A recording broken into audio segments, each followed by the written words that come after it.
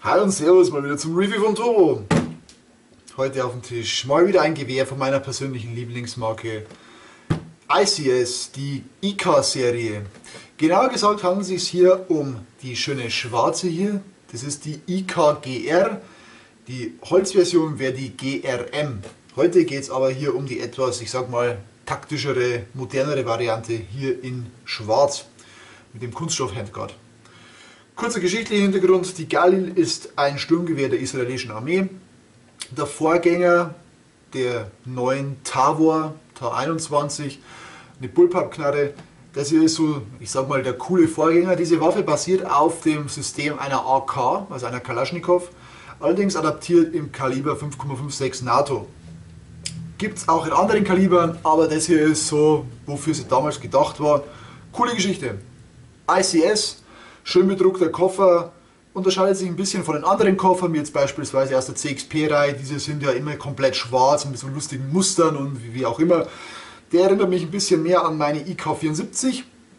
Schön bedruckt hier mit den Gewehren und so. Also ist eigentlich ziemlich cool, sieht gut aus. Also ich bin damit zufrieden. Schöner Karton.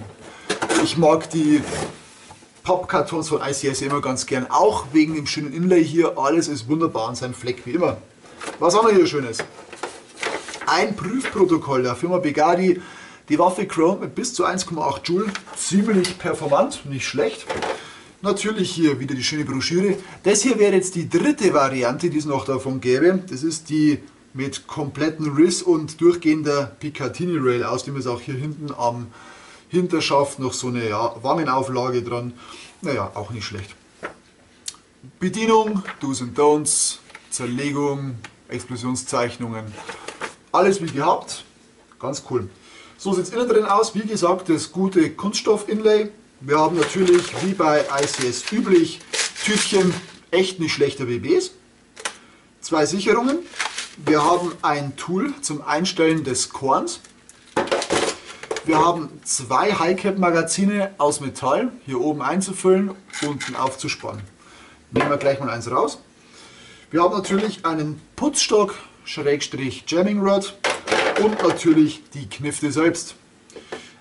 Auch immer mit dabei eine ICS Laufsocke. Nicht schlecht. Ist halt Zubehör. So. Putzstock. Ich brauche ich jetzt nicht mehr. So. Dann gucken wir uns doch das coole Stückchen mal an. Also ich bin echt ein großer Fan davon. Und das sage ich nicht nur so, weil ich bin eigentlich immer Fan von exotischen Waffen und hier nicht von der Standard M4. Und das hier ist hier echt cooles kleines Gewehr. Wobei so klein ist sie nicht mal. So, gucken wir es uns an. Technische Daten, Leute. Es ist wie gesagt eine SAEG, schießt nur Semi, kein Vollauto. Kaliber 6 mm BB. Wir verfügen natürlich über ein einstellbares Hop-Up, ein Schiebe-Hop-Up, kein Dreh-Hop-Up, Dial-Type sondern mal wieder wie bei der AK typischen Schiebehop-Up, was ich ja sehr gern mag. Gehe ich noch darauf ein. Material der Waffe. Hauptsächlich Metall, also was ich echt nicht schlecht finde. Wir können mal gerne mal das Maßband hier rauspacken für die Maße. Ähm, wir haben nur diesen kleinen Kunststoff Frontguard, sage ich mal. Wir haben hier hinten, äh, ja, eigentlich, ne, das ist auch Metall. Darüber hinaus ist eigentlich bloß ein Pistol Grip aus Kunststoff und der Rest an der Waffe ist wirklich Metall. Wir haben eine Länge von eingeklappt 75 cm und ausgeklappt von 98 cm. Wir haben eine maximale Energie von ca. 1,7, 1,8 Joule. Das habt ihr auf dem Blättchen schon sehen können. Ich habe sie auch so mit ca. 1,7 gecrowned. Das kommt ganz gut hin. Die Magazine sind High Caps mit einer Kapazität von ca. 400 Schuss. Da hat er zwei dabei, was eigentlich nicht schlecht ist, ne? wobei ich bin kein High-Cap-Fan, aber ich meine mit 800 Schuss, da kann man schon eigentlich mal einen ganzen Tag spielen damit. Ne? Gutes Package, ICS. Der Lauf hat eine Länge von über 510 mm, also für ein Sturmgewehr echt sehr imposant, wenn es keine Bullpup ist. Also ich glaube, das dürfte jetzt mittlerweile vielleicht sogar der längste Lauf an einem konventionellen Sturmgewehr sein, den ich bisher hatte. Also nagelt mich nicht fest, aber er ist sehr, sehr lang für ein Sturmgewehr. Ne? Zu den Internals, wir verfügen über eine V3 von ICS, also eine sehr, sehr gute Gearbox, die ich auch an diversen Waffen selbst nutze. Ähm, wir haben Stahlgears, wir haben 7 mm Kugellager, der Piston ist verstärkt und inventiliert mit 8 Löchern. auch nicht verkehrt. Außerdem ist die Knifte in dem sogenannten Quick Disassembly Design aufgebaut. Einfach mit ein paar ja, da Sachen zu zerlegen, hier den Upper runter, die Gas-Tube runter, äh, Handguard lässt sich leicht runter machen, Laufpaket lässt sich rausziehen mit ähm, zwei Madenschrauben. Dann könnt ihr einfach schon die ganze Gearbox rausziehen, wenn ihr noch den Fire Selector rausschraubt. Also es sind echt nur wenige Schritte, ziemlich cool. Angegeben in fünf Schritten, ich glaube es zwar jetzt nicht ganz, dass es nur fünf sind, aber naja, wollen wir es mal glauben. Fakt ist, es ist sehr, sehr simpel, weil an der Waffe wenig dran ist. Das ist echt von Vorteil. Deswegen liebe ich auch AKs und die Derivate von AKs, weil es einfach sehr, sehr simpel ist. Ein Gewicht der Waffe haben wir jetzt in dieser Version hier von ca. 3 Kilo. Aufgrund der Länge, sage ich mal, verteilen sich sehr schön. Die Balance ist wirklich super. Und ihr habt eigentlich ein schönes Gewicht. Es ist kein Spielzeug, aber sie ist Gott sei Dank nicht zu schwer. Bei der GRN aus Holz, die ist deutlich schwerer, aber die hat natürlich auch noch einen Holzschaft und ein Zweibein mit dran. Die wiegt natürlich auch ein bisschen mehr. Nichtsdestotrotz sehr angenehmes Gewicht, ich bin damit sehr zufrieden. Genau, gucken wir uns doch mal an, den ganzen Spaß. Bisschen so die Highlights der Knifte. Flash Hider ist aus CNC gefressten Alu. Finde ich jetzt optisch eigentlich sehr angenehm, gefällt mir gut. Ähm, ist jetzt nicht so schön wie jetzt manche ja, Flash Hider in diesem schönen Israeli Design oder wie jetzt zum Beispiel meiner Transform 4, so ein richtig geiler mit seitlichen ja, Pulverentlassschlitzen. Ziemlich cool. Nichtsdestotrotz, echt nicht schlecht. Klappschaft ist aus Alu. Der ganze Klappmechanismus allerdings hier hinten besteht aus Stahl. Wir haben zwei Ösen an der Waffe und zwar einen hier hinten, perfekt geeignet für einen One-Point-Sling und einen hier vorne. Das heißt, ihr könntet eigentlich auch einen ganz normalen 2-3-Punkt-Sling hinbauen. Ich persönlich würde diese Waffe aber wunderbar über diesen Stahlbügel hier mit einem One-Point-Sling schießen wollen. Also das ist feine Geschichte. Wir haben an der Waffe eine umklappbare Visierung mit Dimmungsmarken. Und zwar, das könnt ihr einfach mal hier vorne erkennen und hier hinten. Diese lassen sich auf- und abklappen. Hier im Korntunnel habt ihr jetzt im Moment die ganz normale Visierung an der Knarre dran. Das könnt ihr hier erkennen, also ein relativ feines Korn. Und die Kimme hinten mit einem wählbaren Diopter in zwei verschiedenen Durchmessern. Darüber hinaus, wie gesagt, könnt ihr dann eben diese Dimmungsmarken hier hochklappen und hier hinten eine V-Kimme und schon sieht das alles wieder ein bisschen anders aus. Und ich bin der Meinung, fürs Airsoft ist es sogar die bessere Möglichkeit, das könnt ihr hier erkennen. Ähm, ich finde es echt nicht schlecht und die Zielerfassung damit ist für eine, also für eine Airsoft durch Iron Sights echt schön möglich. Also bin ich, bin ich begeistert. Das gefällt mir gut.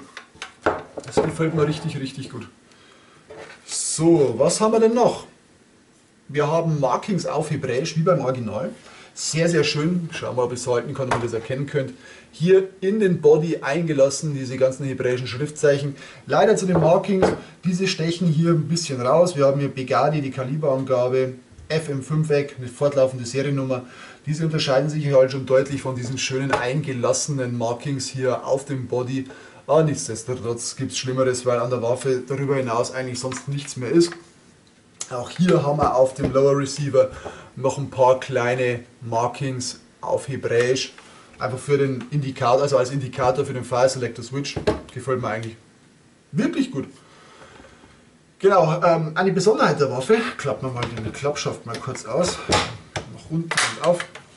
Die Waffe verfügt natürlich über den AK-Style Fire Selector. Natürlich hier in dieser Position ist er ja, safe, vollautomatisch, semiautomatisch.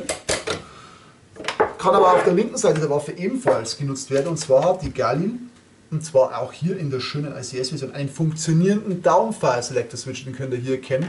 Und zwar, der geht zwar recht streng, aber durch Schieben kann man auch die Waffe in den jeweiligen Feuermodus oder Sicherungsmodus versetzen. Das zeige ich euch mal auf der gegenüber liegenden Seite durch diese verbundene Mechanik bewegt sich dann hier der AK-Hebel. Das könnt ihr hier erkennen, wie vom Geisterhand klappt er dann durch die Gegend. Finde ich ehrlich gesagt nicht schlecht, man kann es machen, aber es geht sehr, sehr streng, muss ich dazu sagen. Und was mir auch nicht gefällt, dieser Feuerwahlhebel ist im Vergleich zu meiner ICS AK an dieser ICS hier sehr, sehr scharfkantig. Hätte man schöner lösen können. So, jetzt könnt ihr das gute Stück im ausgeklappten Zustand begutachten. Das Magazin fügen wir auch mal ein. Ist wie bei einer AK einzufügen. Eigentlich sehr familiär, da gibt es kein Problem. Genau. Das wäre es dann eigentlich schon mal zu den Highlights. Jetzt kommen wir auch gleich zur Bedienung des guten Stücks. Ach, Entschuldigung, äh, ich war heute spielen in München, war sehr, sehr cool, war sehr kalt. Jetzt bin ich ein bisschen fertig, aber ich möchte das Review noch fertig machen. Sehr cooles Gewehr, gefällt mir richtig gut. So, gucken wir es uns an. Zu der Optik habe ich eben schon was gesagt. Diese lässt sich hier oben einstellen in der vertikalen und hier hinten lässt sich es in der horizontalen einstellen. Man hat beide Möglichkeiten, wenn man es denn möchte. Genau. Des Weiteren verfügt die Waffe hier oben über eine 22 mm Picatinny Rail und zwar in der vorderen Hälfte. Man könnte Optiken draufbauen. Ich persönlich muss jetzt sagen, hm, naja, Optisch ist es nicht mein Fall, wenn man einfach Optics hier in der ja, vorderen Region der Waffe montiert, aber klar, je nach Gusto. Man kann es machen wie bei den Russen, so ein Cobra Mount oder sowas in der Richtung. Sehr cool. Leider hat diese Waffe nicht wie eine AK dieses seitliche Mount, um einfach so PSOs oder irgendwas drauf zu schrauben. Das hat sie leider nicht. Das wäre natürlich super cool für mich. Das, dann will ich mir sie sofort holen. Aber nichtsdestotrotz halt eine reine Ironsight-Knifte, außer ihr baut was vorne drauf, aber die Ironsights sind echt nicht schlecht. Genau. Ähm, wie gesagt, noch weiter, linke Seite der Waffe, der schon angesprochene Fire Selector Switch erreichbar mit dem Daumen. Rechte Seite der Waffe haben ein bisschen mehr. Wir haben den AK-Style Fire Selector Switch, der natürlich auch einfach so zu bedienen ist, habe ich euch schon gezeigt. Wir haben eine große Magazinauslösewippe, diese ist auch beidseitig bedienbar. Allerdings hat sie von der rechten Seite hier so eine ja, Pedalverlängerung, so muss man sagen, das kann man hier gucken. Ähm, hier steht das Blechchen ein bisschen weiter raus, auf dieser Seite ist es nicht der Fall. Also eigentlich ist es für Rechtshänder gedacht, das Magazin rauszuziehen. Genau. Des Weiteren verfügen wir hier über den AK-typischen ja, Nachladehebel. Dieser ist allerdings Galil-typisch verlängert, ähnlich auch wie bei den, ähm, ich glaube, finnischen Valmet RK, wie heißen sie? Äh, RK62, glaube ich, zur Bedienung für Handschuhe und so weiter, dass man hier schön anpacken kann. Ne? Sehr cool. Leider hat die Waffe keinen Bolt Catch, aber gibt hier den Blick auf die Schiebe-Hop-Up-Unit frei, welche einfach intuitiv durch Schieben zu verstellen ist. Was ich sehr, sehr geil finde, ähm, ich bin größter Fan von Schiebe-Hop-Up-Units, weil ihr A, ja, auf den ersten Blick den, ja, ich sage jetzt mal, Zustand eures Hop-Ups ablesen könnt, ob es auf oder zu ist, weil ich meine, über den Drehschieber oder so, Entschuldigung, so ein Drehschalter, wie auch immer, Drehrädchen, lässt sich ja das eigentlich überhaupt nicht ablesen, in welchem Zustand mein Hop-Up ist. Wenn ich die Waffe nach einem halben Jahr aus dem Schrank räume, ich habe ja keine Ahnung, wie mein Hop-Up eingestellt ist, außer ich baue einen Lauf aus und gucke rein. Hier weiß ich immer, ah, okay, es ist auf, es ist zu, wie auch immer. Und es ist stufenlos. Ihr braucht hier nicht großartig rumrastern, sondern ihr könnt einfach von voll auf ganz deaktiviert innerhalb von stufenlos schalten. Das ist so die zweite Variante, was ich an dem Teil total mag. Sehr geil. Also für mich Schiebearbeiter-Unit, klasse Ding, immer zu empfehlen. Jeder, der es noch nicht gemacht hat, sollte sich mal angucken. Böse geil. Genau. Ähm, was haben wir denn noch hier Schönes an der Waffe? Zum Thema Bedienung. Optiken haben wir schon. Genau, wir hätten hier hinten den Knopf zum Runternehmen des Uppers, eigentlich wie bei einer AK zeige ich euch auch noch kurz. Kommen wir ganz kurz zum Klappschaft. Dieser hier ist ein bisschen speziell, aber er ist traumhaft, Leute. Das ist ein schöner Skelettschaft, wie gesagt aus Alu. Aber an der Mechanik, wo die Kraft wirkt, ist er aus Stahl. Sehr, sehr geil gemacht. Die, die, Bedienung ist ein bisschen anders als bei anderen Waffen, weil meistens hat man irgendwelche Druckknöpfe zum Entriegeln. Bei dem Teil hier läuft es anders.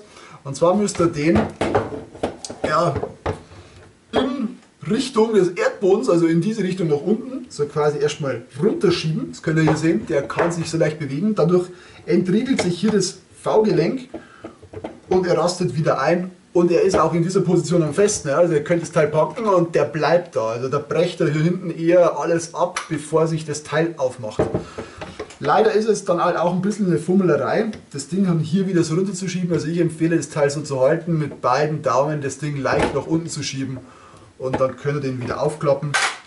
Das könnt ihr hier schön auf der anderen Seite erkennen, wie diese zwei Schieber ineinander greifen. Das könnt ihr hier erkennen und dann richtig fest einschnaggeln, wie man hier in Bayerisch sagt. Sehr, sehr cool. Und das Geile ist, Leute, obwohl dieses Ding sehr filigran ist, dieser Hinterschaft hat absolut kein Spiel oder so gut wie null Spiel, sagen wir es mal so. Also der ist wirklich wie Real Steel. Ne? Das ist auch das Geile an der ganzen Waffe. Ne? Ich nehme das Ding hier vorne am Lauf und ich nehme das Ding hier hinten am Hinterschaft und probiere es jetzt mal hier rumzubiegen.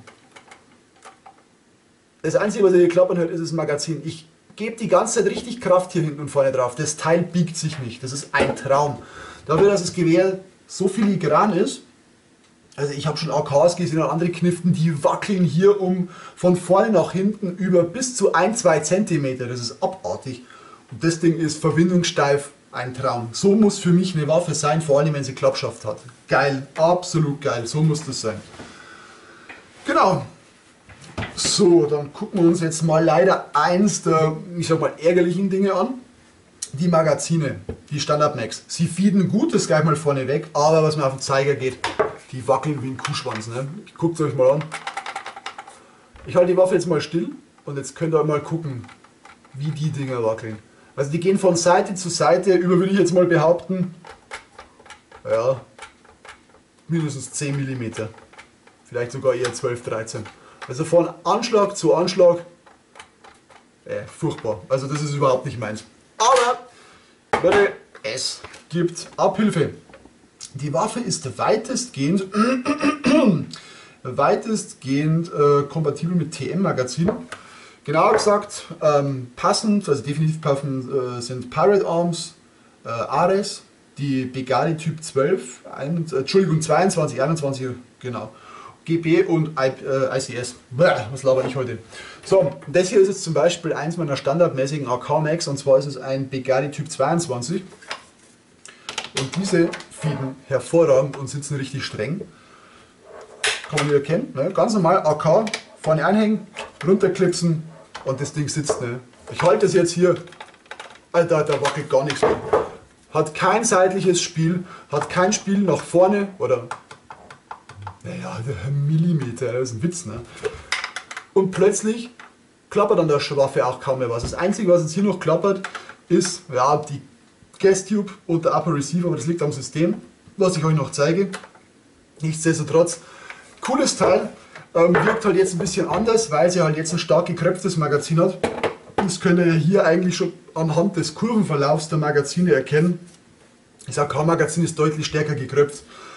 Aber ich muss dazu sagen, ist doch cool. Also ich finde das geil. Also mich stört das jetzt nicht.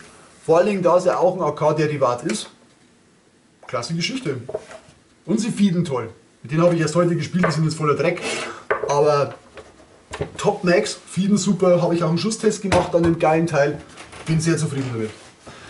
So, dann machen wir jetzt einen kleinen kurzen Feelstrip. Der ist an der hier ein bisschen mh, hm, filigraner, weil ich muss sagen, ich hatte bisher leider keine ICS mehr in der Hand, die so, Entschuldigung, perfekt ist wie meine AK, also die IK-Serie. Geil, aber naja, guckt es euch an. Äh, das hier oben ist alles so quasi eine Klemmung. Ne? Die Gastube hier wird nach vorne geklemmt über den Upper und der Upper ist hier hinten so quasi federnd durchgespannt durch den ähm, Nachladehebel. Das zeige ich euch jetzt mal kurz. Tun wir das Magazin raus. So, jetzt drücken wir den Knopf für den Upper. Drücken und äh, ziehen. So, Nummer 1. Es fliegt wahrscheinlich gleich hier alles durch die Gegend. Ne, es geht. So, genau. Jetzt habe ich hier den Stahlupper in der Hand mitsamt der Diopter-Einheit. So, zum Vorschein kommt jetzt hier natürlich schon mal ein Teil der Gearbox, der Tamiya Connector und die Sicherung. Jetzt könnt ihr natürlich schon sehen, worum es sich so handelt. Ähm, die Waffe frisst nur Stick-Types. Ja, oder einen kleinen Lipo-Bar. Da müsst ihr gucken, weil ihr, wo, wo soll er sonst hin? Im Frontguard kommt nichts rein, sondern es ist hier oben die Gas-Tube. Die Gas-Tube, die ziehe ich jetzt mal ein bisschen raus. Aber dazu muss ich erst, sorry, den Nachladehebel hier ein bisschen rausziehen. So sieht es aus. Die Gastube besteht aus Aluminium, ist hohl innen, das könnt ihr erkennen. Man kann auch durchgucken. Und ihr könnt erkennen, das ist alles so zusammengesteckt. Ne? Diese kommt hier vorne in eine kleine Führung rein mit diesen zwei kleinen ja, Laschen. Dann hier vorne mit dem Teil hier auf diesen Durchmesser draufgeschoben, auf diesen Zapfen. Damit klemmt sich es hier schon mal und wird dann einfach von hinten mit dem Blech Upper festgeklemmt ist natürlich klar, dass ihr hier ein bisschen Spiel drin habt und auch eine gewisse Klappergeräuschkulisse. Könnte man, bin ich, äh, ja, bin ich der Meinung, das könnte man hier mit ein bisschen unterlegen, von ein bisschen Isotape oder sowas, weitestgehend egalisieren, damit es sich zumindest nicht mehr so furchtbar anhört. Stabil, ja, aber es ist jetzt nicht so bombig wie an meiner AK, weil da wird das alles hier, diese Gas-Tube und diese ganze Geschichte, wird ja mit, mit, wirklich mit den AK-typischen Verriegelungshebeln äh, niedergespannt und festgehalten und das ist so eine Apokalypsenknarre, also da geht halt nichts mehr dran kaputt. So sieht es dann hier drinnen noch des Weiteren aus. Hier habt ihr einen schönen Blick auf diese besagte Schiebehop-Unit. Hier könnt ihr die zwei Madenschrauben erkennen, mit welcher der Outer Barrel hier drin hängt. Also eigentlich eine ganz feine Geschichte. So, jetzt schauen wir, dass wir das Teil wieder zusammenbauen. Ich ziehe den Nachladehebel wieder ein Stückchen zurück. Pack mir jetzt die Gas-Tube führe sie jetzt hier so ein. Jawohl, Nummer 1. Lass die wieder nach vorne kommen. Schau, dass sie auf den Zapfen sitzt. Jetzt, das könnt ihr erkennen. Ja. So, packen wir uns wieder den Upper, fügen den hier vorne auf die Blechlasche drauf. Und jawohl, stecken den wieder drauf. Schauen, dass der Knopf hier hinten wieder rauskommt. Und schon ist hier oben wieder alles äh, in Anführungsstrichen fest. Ne? Kann zwar klappern, aber die Waffe ist nun wieder schussbereit und so quasi ready for action. Ne? Das ist dann so quasi eigentlich die ganze Bedienung der ICS IKGR und auch des Schwestermodells. Das nimmt sich nicht viel, bloß dass es halt ein paar coole Anbauteile, Features hat, eben wegen dieses Zweibein. Genau, ähm, so kommen wir zum wichtigsten Punkt, zum Schussverhalten. Auch hier großes Lob, es ist eine ICS hat auch wieder einen Tuninglauf drin, hat eben den besten Motor für eine Standardknarre, den Turbo 3000 von ICS. Traumhaftes Ding, starker Motor, sehr drehfreudig, sehr schnell beim Ankurbeln, Drehmoment stark und auch sehr langlebig. Viele benutzen den Motor als Tuningmotor für ihre Knarre. Ich persönlich verwende ihn in diversen meiner Waffen und bin mit diesem Motor für einen Standardmotor absolut zufrieden. Also mit dem hatte ich noch keine Probleme. Tolles Teil, passt perfekt zur Knifte. Also Wunde, Bärchen, wirklich. Genau, ähm, wie gesagt, durch diesen Lauf und den starken Motor mit so einer tollen Gearbox, diese äh, ist auch sehr, sehr dicht, habt ihr wirklich eine starke, starke Performance. Ihr habt es gesehen, also mit 1,7, 1,8 Joule, die croned ordentlich. Die Präzision ist erstaunlich gut. Klar, wir haben einen vernünftigen Innendurchmesser, wir haben eine vernünftige Lauflänge. Ähm, was soll man dazu sagen? Ne? 40 Meter manuelles Ziel, keine große Schwierigkeit, ne? würde ich jetzt behaupten. Also das habe ich schon so beim Schießen gemerkt. Sie triggert sauber, Schimmbedarf besteht keiner, zumindest nicht an dieser Gearbox hier. Äh, generell bei ICS habe ich jetzt hier, was Schimmbedarf angeht, ehrlich gesagt keine negativen Erfahrungen. Ich meine, auch meine AK heute wieder, sind die gleichen Internals drin weitestgehend. Das Ding kurbelt und kurbelt und schießt und ist ein Biest, ein absolutes Monster. Und das Teil hier ist keine Ausnahme, hat sogar einen noch längeren Lauf. Und also die hätte ich heute beim Spiel auch ganz gern dabei gehabt. Das ist ein ganz ein geiles Gewehr. Sie ist deutlich leichter als meine AK. Aber halt auch ein richtiger Exot. Also ich finde das Teil total ja, schön. Es ist ein schönes Sturmgewehr. Gefällt mir einfach vom, vom optischen und vom qualitativen her für die Kohle echt super gut. Ja, sie sind ähm, ein bisschen teurer, muss man jetzt schon dazu sagen. Also es ist jetzt keine Waffe mehr für 200 Euro, sondern die kosten schon an die 400, glaube ich, 380 bis 400, irgendwie so. Aber da kriegt man auch was fürs Geld. Also ich meine, bei ICS bekommt er out of the box ein sehr, sehr spielbares Package. Das kann ich eigentlich bloß immer wieder sagen. Und diese Erfahrung mache ich halt auch, weil ich packe die Dinger aus, schieße die Dinger, probiere mal mit rum ich habe viele Privatwaffen von ICS, die ich nutze und out of the box geschossen habe, an denen ich so gut wie nichts verändern musste. Äh, ja, ne, das ist einfach wirklich eine feine Geschichte. Das ist echt sauber. Das hier ist jetzt zwar nicht der 603er Tuning-Lauf, soweit ich weiß. Zumindest steht nichts im Internet, ich konnte es nicht sehen. Aber ICS verbaut Läufe in Tuning-Qualität. Das weiß man einfach. Und ICS-Waffen schießen super. Ganz klar. Bin ich echt sehr zufrieden damit. Ganz feine Geschichte. Mein persönlicher Fazit zur Waffe, ja, sie hat ein paar kleine Schwächen, wie jetzt ein paar ja, Sachen, die jetzt mir nicht so gut gefallen, wie diese klapprigen Upper und Die nicht zu lange Schiene, sage ich mal, ich hätte sie gern durchgehend. Es gibt eine durchgehende Version, diese wirkt mir allerdings wieder zu tactical, weil die hier so einen komischen geschlitzten Frontguard hat. Und, aber okay, das ist alles eine reine Geschmackssache. Wie ihr wollt, ne, ganz klar. Ähm, das sind für mich jetzt so ein paar persönliche Mankos, aber das ist eigentlich auch nur wieder kosmetisch.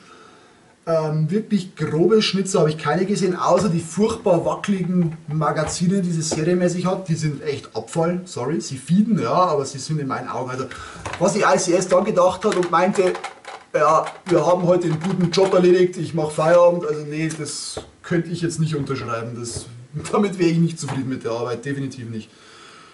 Aber die Performance rein vom Schussverhalten, ja, top. Also ganz klar schulnotentechnisch fürs gebotene Geld kriegt sie davon ja, eine 1 von mir unbedingt. Ähm, Haptik kriegt sie eine 2.